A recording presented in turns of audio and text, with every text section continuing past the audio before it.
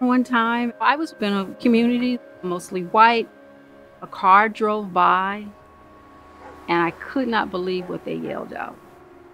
I was in shock. I'm like, did I hear what I just thought I heard? It brought a lot of hurtful feelings. My name is Carla. I'm 57. I blew up in a black community, South LA. As a young girl looking at magazines, I felt disconnected. I didn't see myself reflected back to me. I barely ever saw women of color. Why is that? Uh, do I not belong? Am I not beautiful? So, in growing up, you know, I did have a love hate relationship with my hair. As a kid, who wants to sit still? Your mom's trying to get your hair all right and perfect. At 16, I started modeling, and then I saw how competitive it is.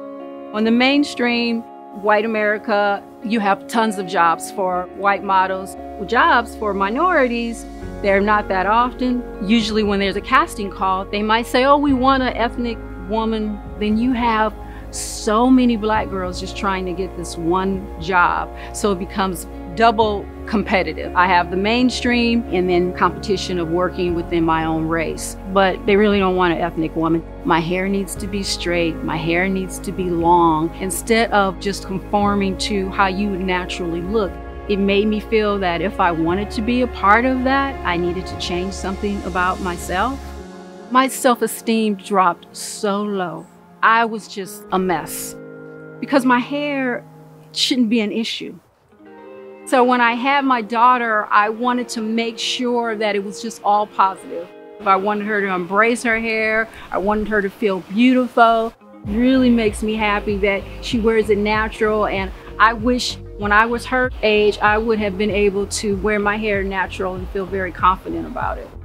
What I like about Sephora is there's diversity. I see all walks of life. I see young, I see older women, I see all different nationalities. I'm excited and looking forward to them having more black owned products. I'm embracing my natural hair, my locks, my gray hair. It's about standing proud in who you are and embracing that. I started back modeling when I got in my 50s. I started off wanting to aspire women in my age category. I'm definitely an advocate of health and fitness, whether it's weight training, cardio. I can rock a bikini. It helps you feel youthful. You're able to connect with people. Even younger women were being inspired. I want the world to know there are beautiful black women that want opportunities, that we belong, we want to be seen, we want to be heard, we want the door to be open, we want to sit at the table. Women can definitely be in their 50s, 60s, and still can turn ahead.